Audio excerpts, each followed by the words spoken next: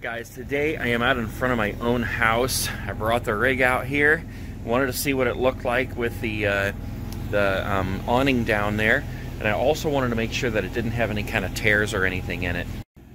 I know we got uh, tree there, but you can see there are no tears. It's a little bit dirty, but that's all right. And there was some water whenever I uh, let it out. All the water ran out, so, but it looks pretty good there. It was actually pretty easy to put out, and I did not film that part. But basically, you know, you just pull out the, the arms on each side, then you get a hold of the thing in the middle and pull it down. And I'm going to put that back up now that I see that it looks good because I don't like it hanging out over here.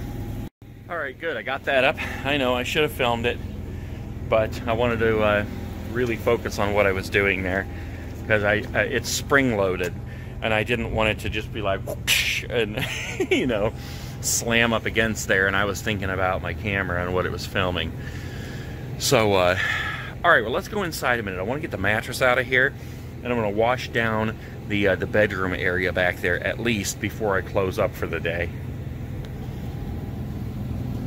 The first thing I want to do though I want to be able to put this uh, this slide out from the bedroom here for a minute because I need to check and see I got my extra tire out. I got my little giant ladder in there. And what I need to see is when I put this slide out, is there anything that this stuff is going to be obstructing in there? It doesn't look like it, but I just want to make sure with that tire out because if, if it does, if that tire obstructs it, then that means that when I try to put the slide out, it'll push the tire out, which will damage that door. So let's try that real quick here. Okay.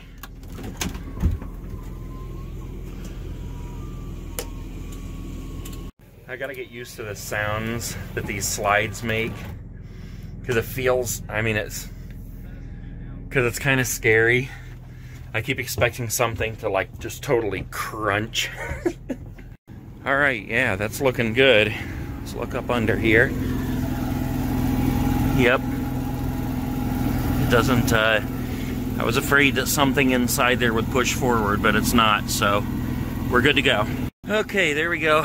Tires back in, and that thing is heavy. that was not easy. Okay, now, while I got this thing over here at my house, I want to get the old mattress out of there because I did buy a new one that you will see very soon.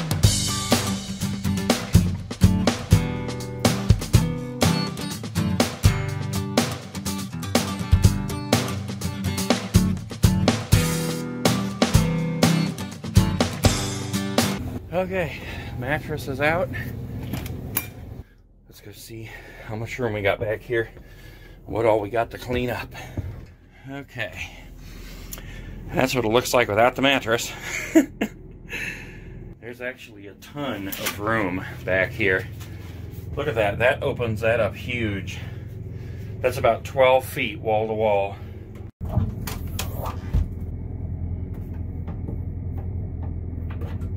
Look at all the storage space under the bed there. Then there's these little things here to give us access to, I guess that's the power to the slide there, if it ever needs to be uh, fixed. So this is like a shoe holder thing. It's canvas. Just connects right to the bottom of the bed here. But I'm going to take that out because it's pretty grungy and gross.